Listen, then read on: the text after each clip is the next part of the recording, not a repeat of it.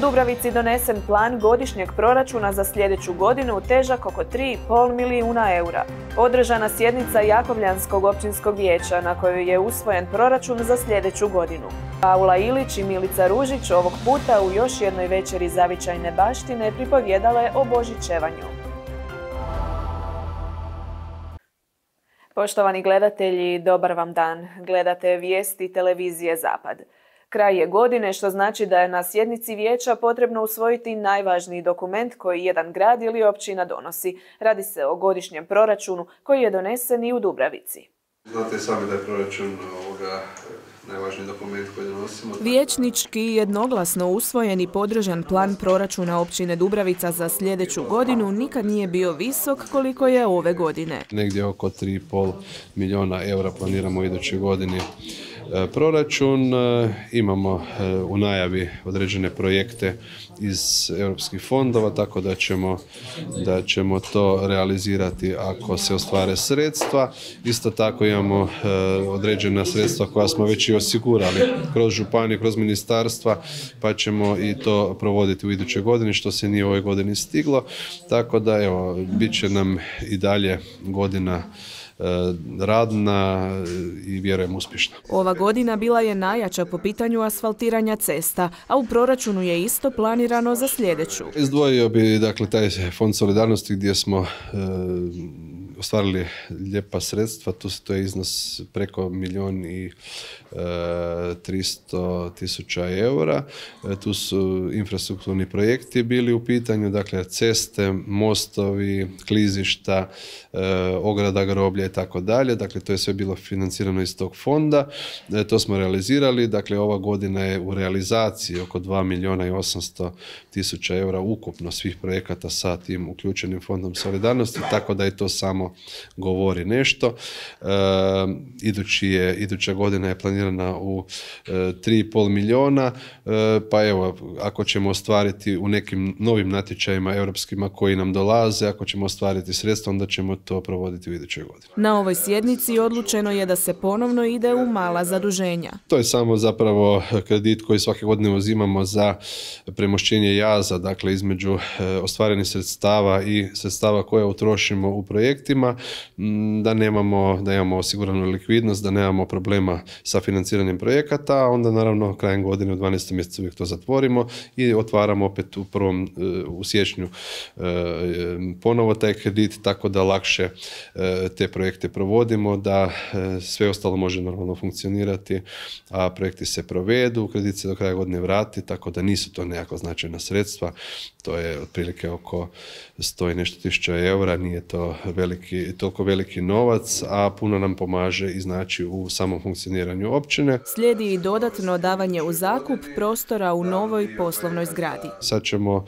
objaviti natječe za jedan od prostora koji, koji stavljamo na tržište, tako da evo očekujemo da ćemo u siječnju veljači izabrati nekog najmoprimca koji će e, barem taj jedan prostor e, staviti u funkciju osim ambulante i zobara koji već jesu u funkciji, a onda ćemo imamo još prostora pa ćemo to otvarati kasnije i ostale natječaje. Općina Dubravica za dio projekata već je osigurala novac. Također postoje projekti za koje se natječaji očekuju tijekom sljedeće godine. Održana je sjednica Jakovljanskog općinskog vijeća na kojoj su vijećnici usvojili proračun za sljedeću godinu. Također je usvojena odluka o drugim izmjenama proračuna za ovu godinu. U prostorima dobrovoljnog vatrogasnog društva u Jakovlju održana je 19. sjednica općinskog vijeća. Među važnim usvojenim točkama bio je rebalans proračuna za ovu godinu. Evo, mi smo danas održali 19. sjednicu općinskog vijeća općine Jakovlje, gdje smo između ostalog donijeli i drugu izmjenu proračuna općine Jakovlje u kojem smo smanjili nešto prihode, znači rashode u odnosu na prvu izmjenu, ali evo možemo biti zadovoljni da je on iznosi rebalans oko 6 milijuna i 8 837 tisuća eura. Smanjen je iz razloga zbog toga što nismo osigurali neka bespovratna sredstva iz drugih izvora i natječaji nisu bili otvoreni tijekom godine kako su bili i planirani. Kao sigurno najvažniju točku na ovome vijeću, vijećnici su usvojili proračun općine za narednu godinu.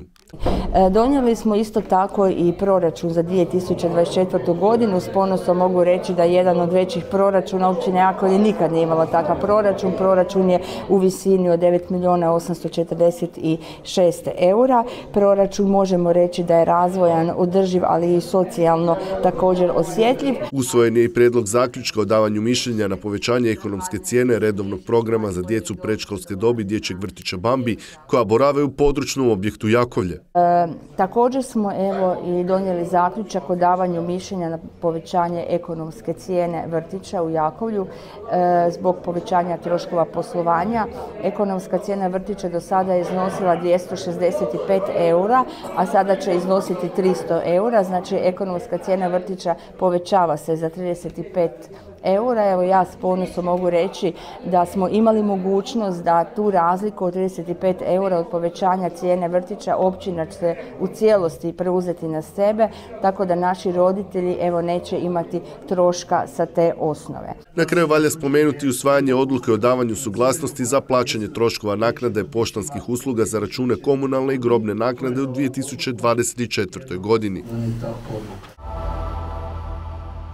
Iza nas je još jedna od večeri zavičajne baštine u Zaprešičkoj gradskoj knjižnici Ante Kovačića. Ovog puta Paula Ilić i Milica Ružić pripovjedale su o božićevanju. Prošle puste bili, kaj ono bilo? Kumice, kumice. No, danas? Kumice smo danas gospođe već. Dok su prošlog puta tema još jedne večeri zavičajne baštine bile zaprešičke podvečerke, ovog puta Milica Ružić i Paula Ilić govorile su o božićnim običajima zaprešičkog kraja. Treći put na želju naših sugrađana organiziramo večeri, večer zavičajne baštine.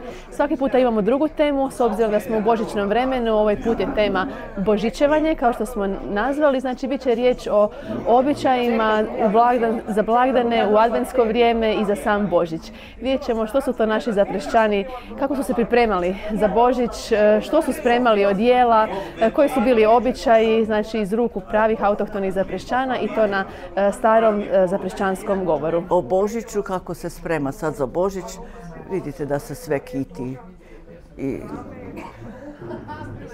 svi se priređuju i e, odjećom, obućom, jelom, borovi, kuha se, sprema se. Pavlo, kaj to je?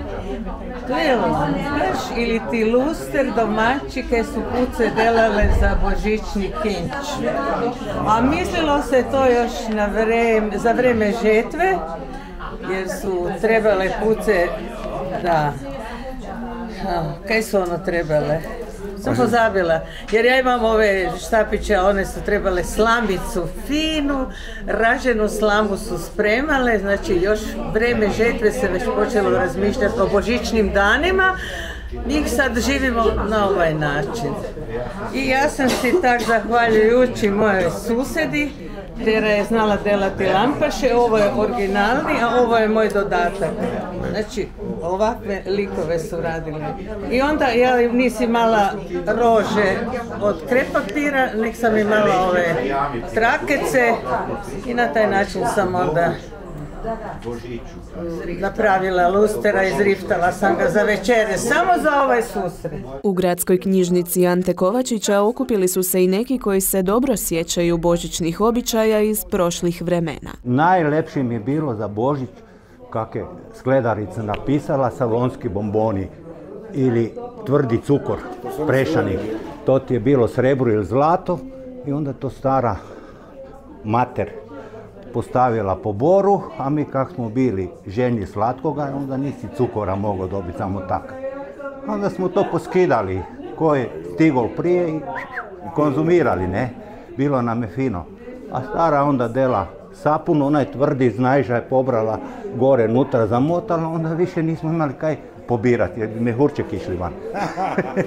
Pod stol se je donesla ona e, slama, sjeno, pa su deca, deca su se igrali, spali, žito je bilo ispod, sličice, kolači su se pekli, jedni drugima su išli u goste, danas više nikoga ne jedva te pozdravi na cesti, a ovak smo se svi pozdravljali, posjećivali i uvijek smo bili zajedno. Pjevali smo, kud smo otišli, tu smo pjevali. Milica Ružić i Paula Ilić već su najavile da će se četvrti put sastati sa zaprešćanima za poklade u još jednoj večeri zavičajne baštine.